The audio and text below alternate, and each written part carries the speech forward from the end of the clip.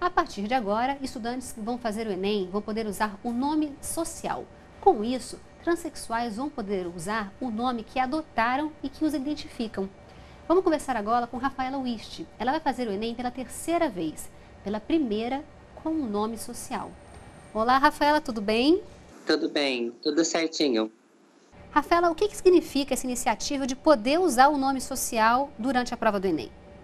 Então, é um reconhecimento né, da nossa identidade de gênero. É muito importante saberem que o nome social para travestis e transexuais é de fato o nome nosso, né? O meu nome de registro é o meu verdadeiro nome. É, é um nome que eu me reconheço, é um nome que corresponde com a minha identidade, né? Que é a identidade que eu construí. Então, é para nós é uma importância muito grande. A gente tinha já desde 2006 no Sistema Único de Saúde o direito de usar o nome social no Sistema Único de Saúde do Brasil. Né? E agora, recentemente, né, nesse, no início desse ano, a gente teve a portaria que dá o direito do cartão nacional do SUS ser é, expedido. Então, esse é o segundo órgão federal, né, o Ministério da Educação, é, pelo INEP, que dá esse direito para nós pelo uso do nome social. Então, é um reconhecimento muito bom e muito importante. Agora, você podia me falar um pouquinho? Você já fez o Enem duas vezes, agora é a terceira. Por que, que é diferente ter o um nome social na carteira? Eu fui para o exame, para o dia do exame, e aqui eles dividiram por sexo e por ordem alfabética. Quando eu entrei na sala, tinham 39 rapazes com o nome meu civil e eu, única mulher dentro da sala. Quando eu entrei, até as pessoas, os próprios meninos que iam fazer a prova, eles falaram, não, mas essa moça está no lugar errado, ela não tem que estar tá aqui. E aí, e eu, eu sabia que, eu, que o meu nome era aquele, infelizmente, né? Eu fui, pro, falei com o aplicador da prova, e daí o aplicador, acho que não estava preparado, falou, não, o lugar dela é aqui mesmo. Aí eu, algumas pessoas, ah, então já entendi, começaram a dar risadinha, enfim. E aí eu acabei me desconcentrando toda, porque é uma prova extensa, né? É, é um vestibular o, o, Enem. E aquilo me desconcertou toda. No segundo dia, eu quase eu não queria ir. Fui para a prova, até comecei a chorar de nervoso, mas eu engoli o choro, fui e fiz.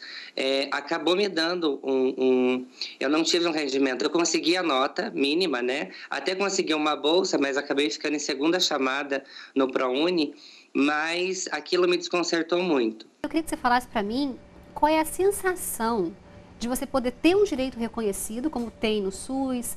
Como é que é ter essa sensação? Qual é a sensação, independente da presidente de ONG, qual é a sensação de poder ter um reconhecimento como esse? Quando ele é, ele, a gente tem ele garantido, como no Sistema Único de Saúde também mais fácil, é muito bom, é muito bom. Você se sente realmente valorizada, respeitada, né? E você está vendo que aquela outra pessoa de fato está te enxergando, né? Ela não está dizendo o que você não é, porque eu não sou é, um, do gênero masculino, o nome masculino que me foi dado não me pertence, não, eu não me reconheço por ele. Então, toda vez que alguém usa o meu nome de registro, tanto para mim quanto qualquer outra trans, é aquela pessoa está afirmando que eu não sou a figura que eu construí. Rafael, o que, que você quer estudar? Você falou de ProUni, do Enem, o que, que você quer fazer na faculdade? Então, a minha grande vontade, o primeiro é ciências políticas, né, ser uma cientista política e poder contribuir um pouquinho mais, é, ou psicologia e direito, mas o primeiro é ciências políticas. Vamos falar agora um pouquinho da sua vida. Você falou quando você, você que você não é um senhor, né? Você, quando é que você se descobriu que você era uma mulher? Eu, parando para pensar agora, com 31 anos, é, eu acho que eu sempre fui menina, né? Tanto é que, assim, até os 12 anos, quando alguém me tratava como menina, eu achava ruim. Mas aí, assim, com 14 anos, eu comecei a ter dificuldades na escola, é, com o próprio convívio, com, com a, a, os vizinhos do bairro que eu morava, porque eu era, de fato, assim, agia como uma menina, brincava com menina, tudo com menina. E, e, e tinha essa cobrança toda.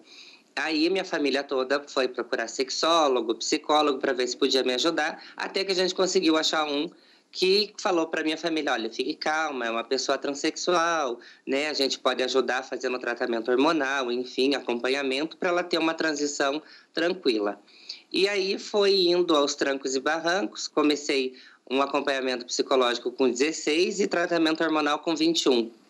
E aí estou até hoje, assim, atualmente uma pessoa bem mais tranquila, casada, né? Minha família, graças a Deus, me respeita muito, meus irmãos, meus sobrinhos, minha mãe, minha avó, assim, eu tenho um contato maravilhoso que infelizmente não é para todas. A maioria das pessoas trans são expulsas de casa, não são aceitas, são expulsas do, da sua cidade, por isso de migrar muito. E o pior de tudo é não conseguir ser respeitado e ter acesso à educação. Né? E por isso tem a outra ponta de tanta prostituição e a gente não ter pessoas trans no mercado de trabalho. E como é que foi a aceitação das pessoas quando você começou a assumir mesmo a postura de mulher? Como é que você sentiu as pessoas ao seu redor? Eu tive além dos problemas de qualquer outro adolescente tem, com hormônios, namoro, primeiro amor, primeiro beijo, essas coisas assim, para mim era mais complicado ainda, porque eu tava não, eu não aceitava o corpo que eu tinha, eu não aceitava a maneira que os outros me viam, porque eu me via como mulher, mas os outros não me viam assim, né? E até eu poder conseguir explicar para eles, olha, eu não sou louca e também não é transitório, né? Eu não acordei de manhã e falei, nossa, hoje o céu tá bonito, eu vou virar transexual. Ninguém vira nada, né? Eu sou uma mulher trans, é, não é uma escolha, né? As pessoas às vezes não dão tanta importância porque acham assim que a gente vira, né? Virou gay, virou lésbica ou virou travesti. A gente não vira nada. A gente é. Da mesma maneira que a pessoa nasce heterossexual e é hétero, né? Ela nasce gay, ela nasce lésbica e as pessoas trans também, né? Não é uma escolha. Existe sim a escolha de a gente assumir essa identidade, dar a cara a tapa e aguentar tudo que vem para depois, as pancadas que vem depois. Essa é a escolha, mas a identidade ela é, ela é da pessoa. Você disse que não se via como menino. Como foi a primeira vez que você se viu como mulher no espelho, por exemplo? Como Rafaele?